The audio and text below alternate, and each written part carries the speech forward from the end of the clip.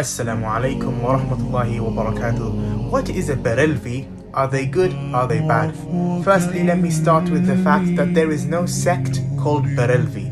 The individual who we all know as Ala Hazrat A'la Hadrat Imam Ahmad Raza Khan rahmatullahi alayh was only the mujaddid of Islam, the reviver of Islam. As we know in Islam, we have a mujaddid, a reviver who comes at the end of each century.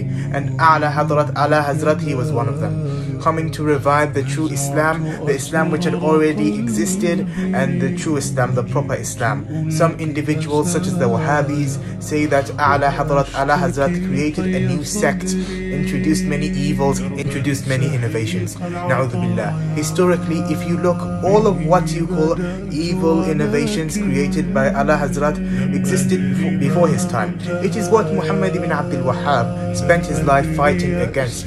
So even according to your Wahhabi logic, Ala Hazrat did not create any sect or group as all of these practices existed before him and all of these practices does have a basis in the deen. Whereas with Wahhabis, they are all a new innovated sect uh, and a group, which is why they have to mass exterminate the Ummah. Wassalamu alaikum wa rahmatullahi wa barakatuh.